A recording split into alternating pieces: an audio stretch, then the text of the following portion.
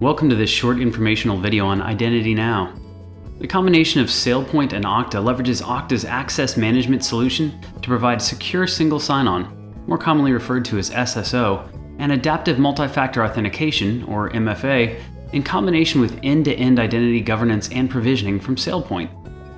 Applications available within Okta, along with their necessary accounts and entitlements, can be automatically provisioned for users through Identity Now, based on attributes like their role or employment lifecycle state.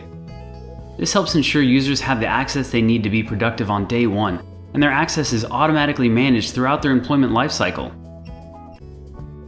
Utilizing SailPoint's Identity Now platform, users can also securely request access to new applications and additional levels of account access as needed. Identity Now administrators can define approval workflows for each type of access, and once the approvals are complete, Identity Now will provision the necessary access automatically using SailPoint's direct connector for that system. Once access is approved, the new application will appear on the user's Okta dashboard. Access certifications within Identity Now allow organizations to assign responsible parties, such as resource owners or managers, to review and certify employees' access to applications in a business-friendly way. Applications that are populated on a user's Okta dashboard can be governed with targeted certifications and once the certification is complete, any revoked items will be automatically removed from the user's Okta dashboard.